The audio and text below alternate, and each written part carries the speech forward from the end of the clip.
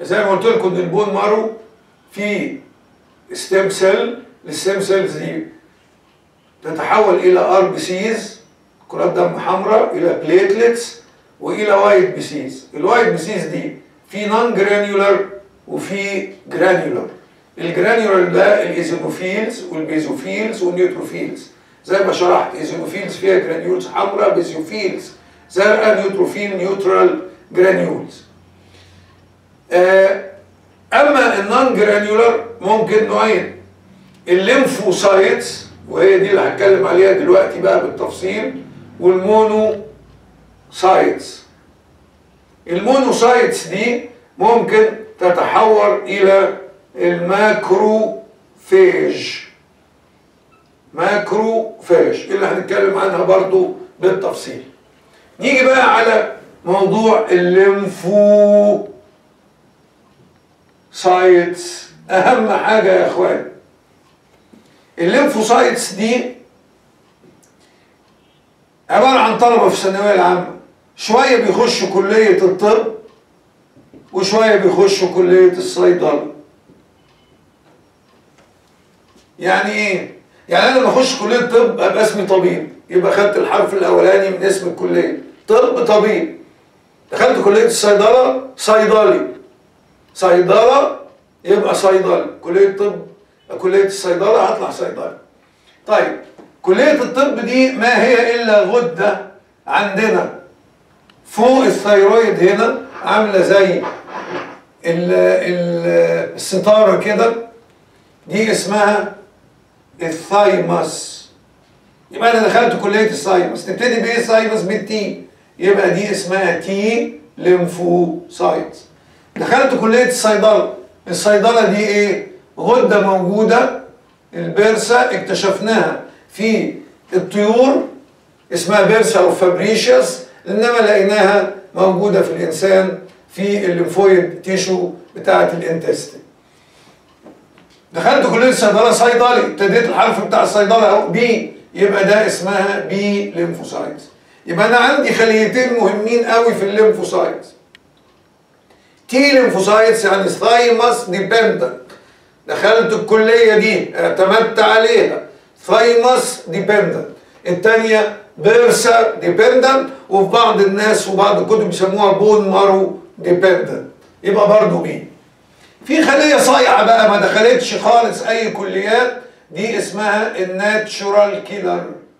natural killer يعني بتقتل الخلايا المنحرفة الغير مرغوب فيها زي ال cancer cells زي viral infected cell تلاقي الخلية انحرفت زي TB infected cell تلاقي الخلية انحرفت. أي خلية انحرفت أو تنحرف ال natural killer كفيلة بيها هي ونوع من أنواع ال T lymphocytes الثانيين إذا ال natural killer لما أقول لك دي إيه؟ تقول لي دي non-T non-B لا دخلت دي ولا دخلت الكلية دي.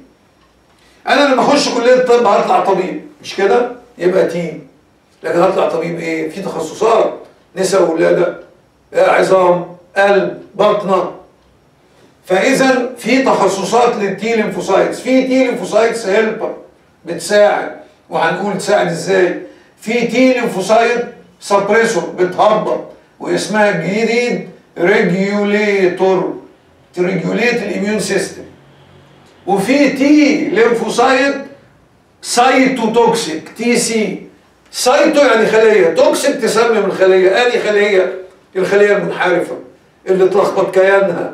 زي ال cancer. زي ال viral infected cells يبقى ده أما الصيدلي هيفضل صيدلي مفيش تخصصات كتيرة فيها فايه ملهاش غير ال B cells يبقى عندي دلوقتي ال lymphocytes ثلاث أنواع. thymus dependent T bursa dependent B non-thymus non-bursa non-T non-B اسميها natural killer ال T lymphocytes فيه نوعين ثلاث انواع نوع helper نوع regulatory أو suppressor ونوع cytotoxic بيموت اي خليه أو بيسممها تكون هذه الخليه انحرفت أو تغير موقفها تماما بصوا يا اخواني أنا اول ما اتخرج من كلية الطب طب البشري طب أسنان لا يمكن أقدر أفتح عيادة ولا يمكن أقدر أشتغل في المهنة بتاعتي لأني لسه ما اتدربتش. أنا عمال طول سنة سنة أولى ثانية ثالثه رابعة عمال أدرس في الكتب. أنا عاوز بقى أتدرب. يعني أعمل فترة الامتياز. فترة الامتياز دي بتتم فين؟ في مستشفيات. أول مستشفى اسمها ال lymph node تاني مستشفى اسمها ال spleen. يبقى ال spleen وال lymph nodes. هم دول ال- اللي بعد ما اتخرج أروح اشتغل فيهم. وابقى دلوقتي عبارة عن دكتور قادر على انه يفتح عيادة أو يشتغل. بمعنى ان ال T lymphocytes أو ال B lymphocytes بيمروا بأول مرحلة في حياتهم اللي هي مرحلة التعليم فده بنسميها primary lymphoid organs يبقى لما تسألوا يعني إيه primary lymphoid organs يعني ال thymus أو ال bursa أو بعض كتب ال bone marrow بعد كده تروح لمين؟ لل secondary lymphoid organs secondary lymphoid organ اللي هم مين؟ ال lymph nodes وال spleen يخرجوا بقى very active أو بنسميها immunological activation لها. خلاص تقدر بقى تشتغل تعمل الايه ال- ال- تشتغل مع الجهاز المناعي تورينا الشغل بتاعها. لكن هنا دول independent ما يقدروش يشتغلوا لوحدهم. لما لما يخرجوا من ال secondary lymphoid organs هيبتدوا ي- يشتغلوا ويبقوا actively immunological يبقى عندنا دلوقتي في حاجة اسمها primary lymphoid organs اللي هي ال thymus وال bursa خلاص اتخرجوا. لازم يروحوا يتدربوا secondary lymphoid organs زي ال lymph nodes وال spleen دول ال secondary lymphoid organs في secondary lymphoid organs ثانية كتيره زي ال MALT. MALT يعني mucosal associated lymphoid tissue زي ال tonsils زي ال appendix كل دول ممكن نعتبرهم secondary lymphoid organs إنما دول أهم secondary lymphoid organs عرفنا ماشية إزاي؟ الأستاذة دي ملهاش بقى لا primary ولا secondary ولا حاجة بي على طول.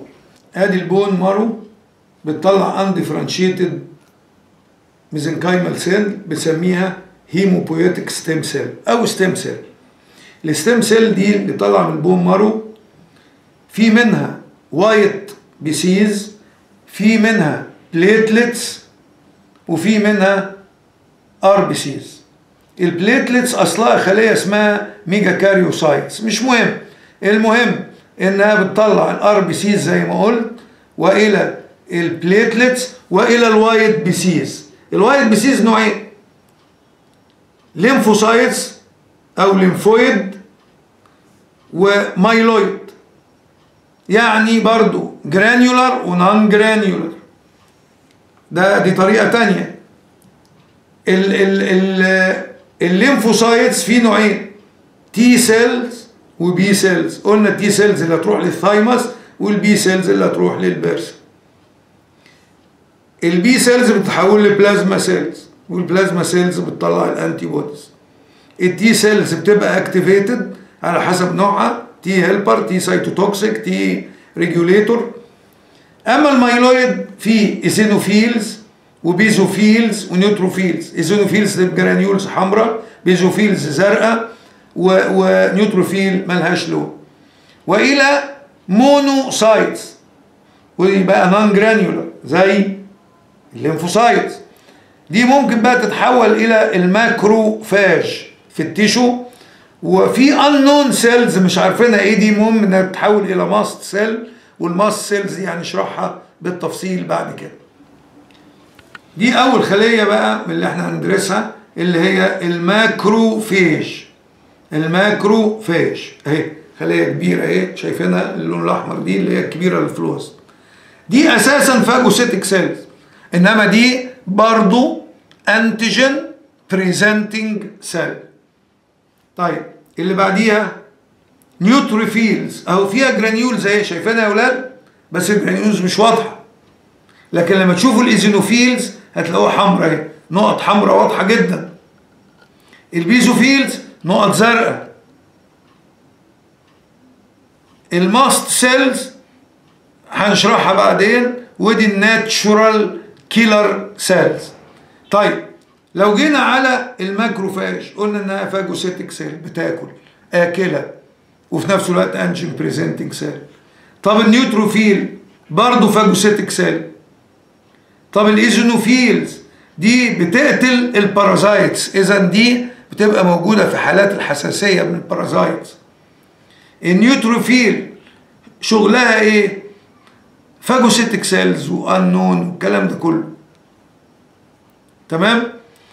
نيجي بقى على ال mast cells هنبقى ناخدها وقلنا ال natural killer دي can destroy any abnormal أو altered cells قلت لكم طبعا ال antigen presenting cells ممكن تبقى dendritic cell ممكن تبقى ال macrophage ممكن تبقى ال B lymphocytes لأن كلهم عليها receptors protein number 7 آدي ال dendritic cells أهي رسمتها وآدي في الحقيقة أهي. شايفين الاهداب بتاعتها دي. آه الثانية ال macrophage ودي برضو عليها receptors بتعمل phagocytosis لل antigen ثم تتعرف عليه دي نفس الكلام و represent it by the major histocompatibility ادي ال B lymphocytes بتاخد ال antigen من على receptors اسمها antibody receptors أو immunoglobulins هيتشرح كله بالتفصيل. ودي شكلها الحقيقي تحت الميكروسكوب.